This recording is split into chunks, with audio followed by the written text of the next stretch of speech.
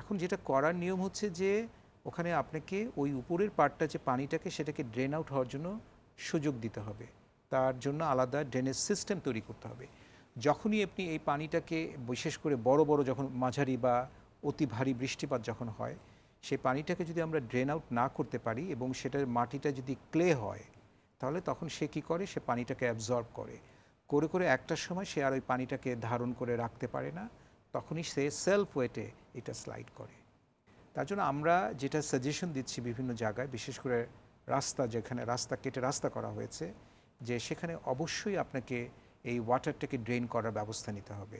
আবার অনেক সময় আমরা রিটেনিং ওয়ালের কথা বলি, যে জন্য ছোটোখাটো যদি ধস হয়, ওই রিটেনিং ওয়ালটা ওইটাকে ঠেকিয়ে রাখবে। এখানে যদি রাস্তা হয়, আমি যদি এইভাবে রিটেনিং ওয়াল করি পাহাড়টা যদি মানে এরকম পার্বত্য তিন জেলা এটা অনেক দেখা যায়। এটা অনেক দেখা যায়। হ্যাঁ। কিন্তু সবচেয়ে বেশি দরকার এই ঢাল থেকে পানিটা যেন এই রাস্তা দিয়ে নেমে যেতে পারে। নিচে যে ছড়াগুলো থাকে সেটা করতে হবে।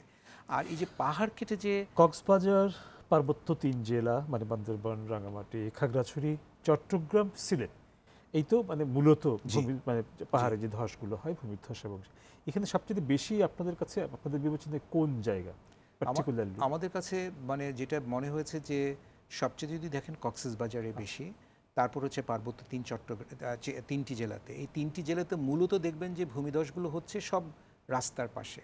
কারণ যখনই আমরা রাস্তাটা কেটে পাহাড়টা কেটে রাস্তাটা তৈরি করেছি আমরা আইদার তখন আমাদের আমাদের ধারণাটা ছিল না যে আমাদের পানিটাকে ড্রেন আউট করতে হবে অথবা ভূমিধসটা হলে সেখানে একটা রিটেনিং ওয়াল করতে হবে। এখন আমরা এসব মেজারের দিকে যাচ্ছি। আর একটা মানে ঝুঁকিটা চট্টগ্রাম সিলেটে তুলনামূলক কম। কম। কারণ হচ্ছে এবং পাহাড়ে যেই পাহাড়ে আপনার স্টোন বা যেসব পাহাড়ে স্টোন সেখানে দেখবেন কিন্তু ভূমিধসটা সাধারণত হয় না। যেটা বলছিলাম ক্লে মানে ক্লের মধ্যে আমরা ওয়াটারটাকে অ্যাবজর্ব করতে পারি। করে এটার একটা সেলফ ওয়েট হয়ে অনেক বেশি হয়ে যায়।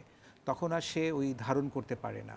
এটাকে আমরা সাইন্টিফিকভাবে বলি স্লিপ সার্কেল তখন সে ওইভাবে স্লিপ করে যায় পুরোটা। স্লিপ করে সে ধসটা নেমে আসে।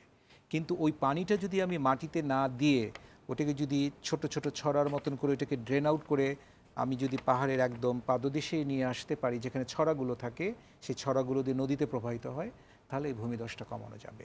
তবে কক্সবাজারে বা এইসব এবং এলাকাতে সম্ভবত এই যে খুব ঘন একদম মানে কি বলে খুব কাছাকাছি লোকালয় তৈরি হওয়া এবং ঘন বসতি কোনোভাবে করতে দেওয়া আহ, না। বোধহয় এটা ঝুঁকিটা আরও। বাড়তে থাকে তাই না না? লোকালয়টা হচ্ছেই তো পাহাড়টা কেটে আপনি যখন এরকম একটা স্লোপে পাহাড় থাকে আপনি এতটুকু কেটে ফেলছেন কেটে ওখানে বসত বাড়ি করছেন। কারণ স্লোপের মধ্যে তো বাড়ি করা যাবে না। যখনই এই স্লোপটা কেটে যাচ্ছেন তার মানে তার মানে উপরে পাহাড়টা তখন আনস্টেবল হয়ে যায় স্ট্যাবিলিটি থাকে না। এবং তখন বৃষ্টি হলে ওটা ধস হবেই। এর জন্যই আমাদেরকে স্ট্রিক্টলি এই পাহাড় কেটে কোনো বাড়িঘর বা পাহাড়ের পাদদেশে বাড়িঘর এটা কোনোভাবে অ্যালাউ করা যাবে না। এটা বাইকিং মাইকিং করে হবে যদি